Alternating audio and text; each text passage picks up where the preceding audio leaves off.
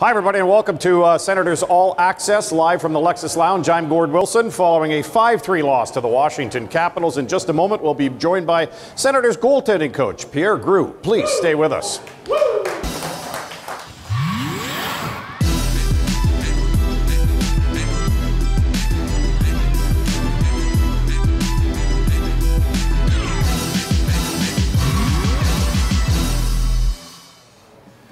All right, welcome back. As promised, Pierre Groulx, the goaltending guru of the Ottawa Senators, joining us. Uh, thanks for doing this. I know we're in a bit of a hurry here. The Senators traveling to Toronto right after this uh, uh, for the second game of back-to-backers here. Uh, we anticipate uh, uh, Craig Anderson in goal tomorrow against the Leafs, but let's talk a little bit about this game and specifically your young goaltender, Marcus Hogberg, continues to shine. Took the loss here tonight, but my goodness, is he is he displaying some skills?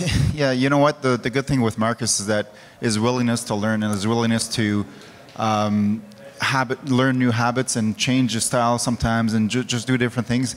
And the great thing about Marcus, and especially last game against New Jersey, he made uh, 50 saves. Uh-huh. And he made incredible saves, but the goals he's given up is stuff that we can work on, we can yes. get better. And every day he's, he wants to get better, and he wants that that compete level to, to get to the next level and show that he belongs at this level. Pierre, is he one of those goaltenders? And I'm not sure if there, you can specifically point this out, uh, a quality of a goaltender, but he is, is he somebody who likes a lot of action? Those 53 shots that he faced on Monday night, that was, uh, that's a lot of mental concentration.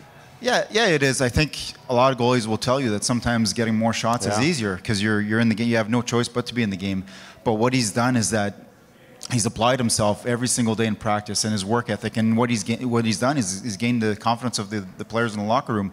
And the players they, they want to see him grow. They want to see him get better. And he's he started that last year in the American League. He, from Christmas on, he's yeah. probably the one of the best goalies in the American League. And he's carried this onto here. And like he, he's got a one way contract next year. He knows that he got, he's got to earn everything every day. And that's the co- constant uh, communication with him is that we got to keep climbing and keep getting better and better every day. Interesting that you bring up the contract because, yeah, he will be a full time goaltender with this hockey club next year. Um, what was the plan that you had going into this season after watching him from Christmas on uh, in Belleville last year and really leading that team to a so, oh so close playoff position? Um, what were the things that you specified that you wanted to work with him on? I think Marcus' assets are his feet. His lateral mobility is okay. so good that we want to force the play down. So, meaning that is that he, he had a tendency to have his gloves low. So, we want to move his gloves up and keep his upper body as big as possible to force the play down to his strength. So, with that in mind here, and we've talked about this an awful lot on our broadcast, his blocker seems to be absolutely outstanding. He makes a lot of blocker saves. Yeah, you know what? Uh, one thing we noticed is that early on in the year, he had a tendency to not trust his elbow and just have the blocker too much inside, so now I gave up some some far side action. Now is just making him as big. He's six foot five. He's yeah. not a small goaltender, but we want to make him as big as possible and trusting that elbow. I know Ovechkin probably one of the best cores in, in the NHL. Got him today on the blocker shot, but it's just it's a matter of trusting that elbow that's going to do the work inside and leave them the blocker outside to make those outside saves. Okay, at the time of this interview uh, in Laval tonight, Belleville was defeated or was winning against uh, the Rockets by a 4-2 score, and Joey Daccord was in goal. Uh, some might say an embarrassment of riches for the Ottawa Senators as far as depth is concerned uh, in goal. Joey Daccord in tonight, and I think he was 9-3 and 2 going into tonight's action. Uh, Filip Gustavsson as well has, uh, I think he's 4 0 1 in his last five games. Um, just quick comment on those two. Well, one of the mandates when I came in four years ago is to improve the goaltending depth. And with Trent Mann and, and obviously uh, our GM Pierre Dorion, we we started drafting goaltenders, and even Kevin Mandolese is the third best goalie in the, in the Quebec Major Junior League right now. But what Joey has done and what Gus has done in the American League is that it's solidified the position. Once they lost Hoggy because of Nilsson's injury, they were they didn't know where they were going. But what, what Joey and Gus have done is that they've solidified the position.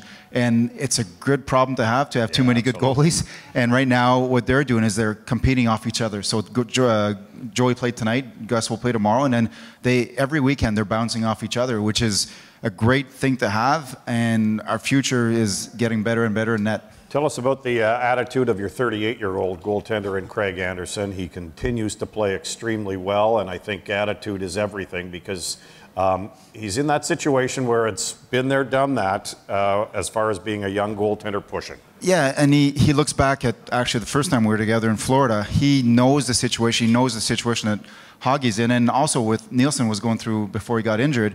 He wants to help these guys get better. And uh, sitting with Hoggy right beside me in between periods, he's always encouraging him and Really, just talking to him and helping him get along.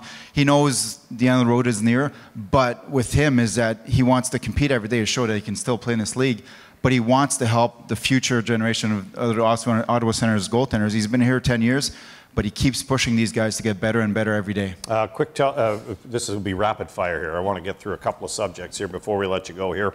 Uh, tell us about the pin on your uh, jacket. Well, my, my son was diagnosed when he was two years old, just under two, with uh, on the autism spectrum. So every year we like to um, we do a game here, and it's going to be late March or so. Uh, we're going to have an autism awareness game to just to awareness awareness and help each help other people on, on the spectrum. There's Leo. Um, yeah, there, there's Leo right there. boys, yeah. yep.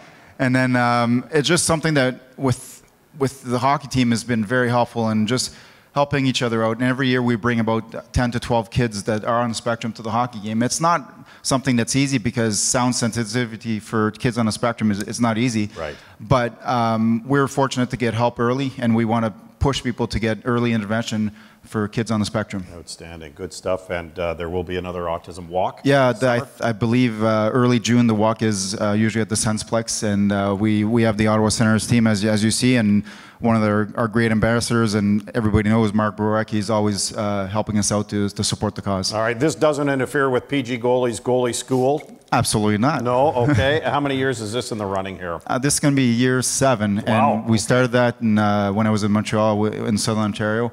And uh, we just like to, you know, we have kids from Newfoundland, uh, Yellowknife, uh, No from Taiwan, uh, from Minnesota. So we have a bunch of kids come out, and we just um, we just like to get involved in the community and just um, help. Out. You know, it's become a big family, the PG's goalies family. So it's it's nice to help out the kids. Outstanding. Yeah, you can follow it on Instagram as well. It's a lot of fun here. You also helped out with a DJ Smith practice that uh, uh, was auctioned off uh, at the soiree, I believe, and um, they needed a goaltender instructor, and you volunteered for that.